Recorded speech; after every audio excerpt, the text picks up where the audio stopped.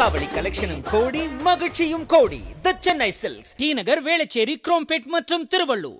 நடிகர் ரஜினிகாந்த் இல்லத்தில் நடைபெற்ற நவராத்திரி பூஜையில் தமிழிசை ஓபிஎஸ் உள்ளிட்ட அரசியல் பிரமுகர்கள் குஷ்பு மீனா உள்ளிட்ட திரை பிரபலங்கள் என பலர் பங்கேற்றனர். ஆண்டுதோறும் நடிகர் ரஜினிகாந்த் இல்லத்தில் நவராத்திரி பூஜை நடைபெறுவது வழக்கம். அந்த வகையில் இந்த ஆண்டு போயஸ் கார்டனில் உள்ள இல்லத்தில் லதா ரஜினிகாந்த் நடத்திய நவராத்திரி நிகழ்ச்சியில் பல்வேறு துறை பிரமுகர்கள் கலந்து கொண்டனர். தெலங்கானா ஆளுநர் தமிழிசை சவுந்தரராஜன் முன்னாள் முதலமைச்சர் ஓபிஎஸ் மாநகராட்சி ஆணையர் ராதாகிருஷ்ணன் நடிகைகள் குஷ்பு மீனா சோபா சந்திரசேகர் இயக்குனர் சிறுத்தை சிவா உள்ளிட்டோர் கலந்து கொண்டனர்.